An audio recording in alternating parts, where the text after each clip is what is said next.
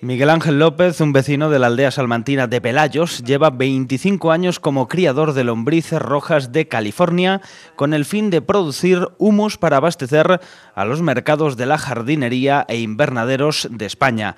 Se trata de uno de los abonos más preciados por sus propiedades. Es una actividad casi exclusiva de este criador salmantino, ya que apenas existen este tipo de industrias en España.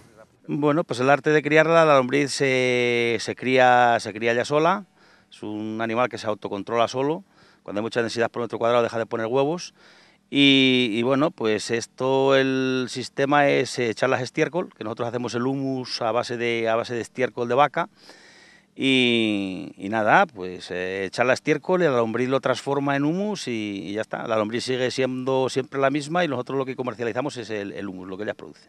El humus que se obtiene del trabajo de esta lombriz posibilita que el fertilizante esté muy nitrogenado y a su vez sea rico en fósforo, potasio y calcio, minerales que le van muy bien a los frutales y que en mayor cantidad posibilitan una mejor cosecha.